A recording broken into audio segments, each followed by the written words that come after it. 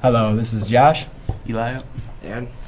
and we're going to show you how to use a timer in the Multimedia Fusion 2 program.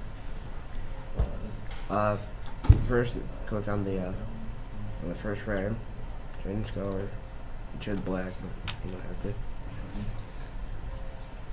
And go to insert object, counter.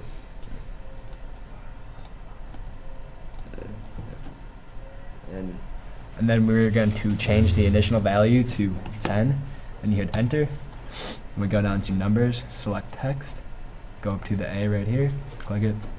We're going to stick with the normal font Arial. You can change it if you would like. We're just going to go bold, then the font size we're going to use 26. Okay. Now you can't see it because it's black. Go over to color, change it. We're just going to change it to red. Click on it. Gonna go to align and frame, horizontal center, align and frame again, invert center. Then after that, go up to view, event editor, click it, new condition. Gonna click on the timer thing, right click, every, then we're gonna change it to one second. You can change it to whatever you'd like. Okay, go to the counter, right click, go to subtract from counter. You're gonna change it to one, and you hit enter.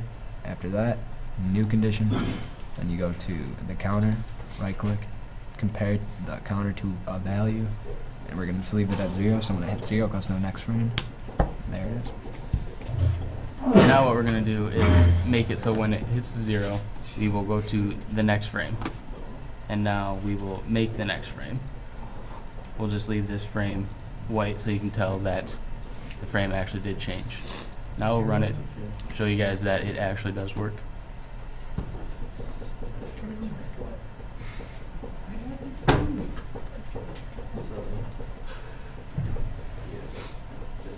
As you can see, when the timer reached zero, it then jumped to the white frame.